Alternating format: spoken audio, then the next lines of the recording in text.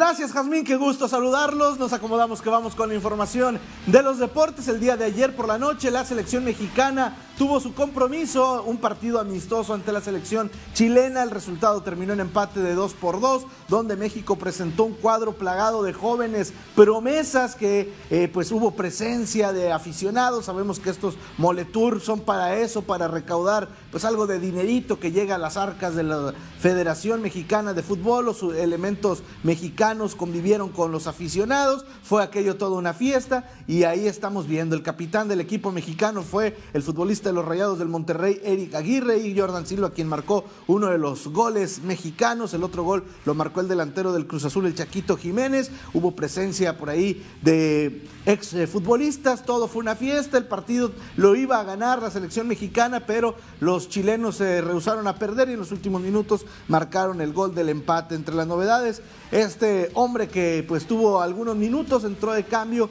y pues no marcó la gran diferencia, pero sí hay algunos elementos que mostraron buenas condiciones, el caso de Córdoba, Ponchito que jugó de titular también dentro de los elementos de Rayados de Monterrey, Acevedo que estuvo en la portería, fue tan pedido y tuvo por ahí buenas actuaciones, en los goles poco pudo hacer el guardameta del conjunto del Santos Laguna, así que pues México empató ante Chile 2 por 2, cosas positivas para destacar de Gerardo el Tata Martino con estos elementos juveniles que algunos de ellos buscarán a ver si les alcanza un lugar en el Mundial de Qatar del año entrante.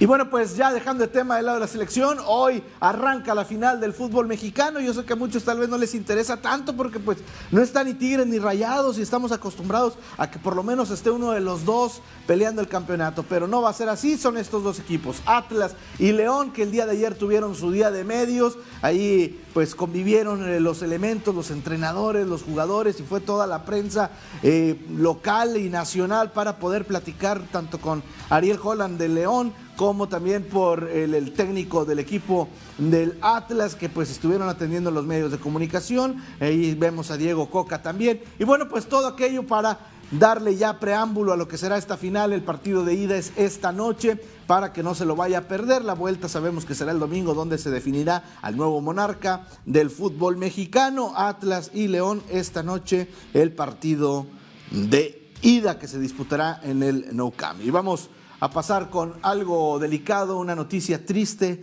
y lamentable y guardamos pues la seriedad correspondiente y es que el día de ayer por la tarde se anunció esta lamentable pérdida. El ex delantero argentino Alfredo Moreno falleció a los 41 años de edad, que pues era naturalizado mexicano, fue operado de urgencia de una obstrucción en la vesícula biliar y al ser intervenido los doctores encontraron un tumor maligno que afectaba partes de otros órganos, por lo que pues eh, la familia del exfutbolista buscó donadores de sangre y plaquetas, así lo había eh, publicado el Club Necaxa, se acuerda que le presentamos aquí que pedían donadores de sangre y plaquetas para poder operarle ese tumor maligno, pues no eh, la operación se complicó y a fin de cuentas las cosas ya no fueron eh, pues por buen camino y terminó perdiendo la vida el ex futbolista argentino, naturalizado mexicano, que militó en equipos como Necaxa, San Luis, América, Atlas, Tijuana, Puebla, Veracruz y Celaya también tuvo un paso por el equipo de Tigres, como lo estamos viendo en pantalla, que fue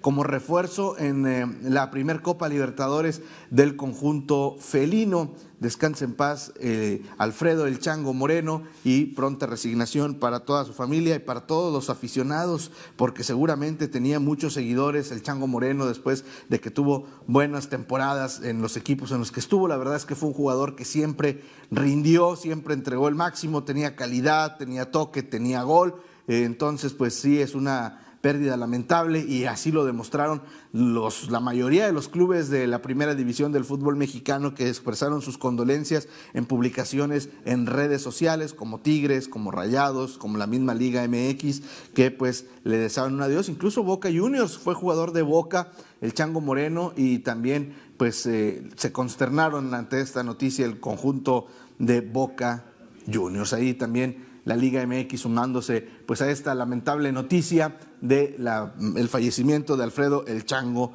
Moreno. Y vámonos con otro tipo de información a nivel internacional y es que lo de ayer, el Barcelona, increíblemente, lo que no pasaba desde hace 20 años, algo inimaginable hace pues unos escasos dos, tres años no nos imaginábamos al Barcelona en esta situación. Perdió 3 por 0 al Tel Bayern, ya no era ninguna novedad, todos esperábamos que iba a perder, pero otra vez goleado, otra vez goleado, 3-0 como en el partido pasado, pero ahora jugado en casa del Bayern y terminó quedando eliminado Barcelona en fase de grupos. Ahora irá a la Europa League, después a donde van los equipos que quedan eliminados en fase de grupos de Champions, los mandan a jugar la Europa League como premio de consolación. Ahí vemos las imágenes, esta imagen habla por sí sola, un, un jugador del Barcelona tirado, derrotado, volteando a ver hacia arriba a los que ganaron, a los que festejaron y a los que calificaron a la fase de octavos de final invictos como lo es el Bayern, con todos sus partidos ganados, seis duelos, los seis ganados, solamente recibieron tres goles en contra y Barcelona quedó fuera porque el Benfica también hizo lo correspondiente al ganar su partido ante el Dinamo de Kiev. Así las cosas dentro de la Champions, el resto de los resultados que se dieron el día de ayer, la Juventus por la mínima diferencia, 1 por 0 le ganó al Malmö, el equipo del Chelsea 3 por 3 empató, empató ante el Zenit, este sí es un resultado también sorpresivo, el Bayern ya lo veíamos 3 por 0 al Barcelona, Benfica que ganó 2 por 0 y con ese resultado dejó sin posibilidades ni esperanzas al conjunto catalán. El partido de Villarreal contra el Atalanta fue pospuesto y bueno, pues es el, el, duelo del Sevilla que pierde y también va a Europa League. El equipo de los le pegó 3 por 1 al Wolfsburg dentro de la actividad de la Champions League. Es lo que tenemos en la información de los deportes. Que tenga un excelente día.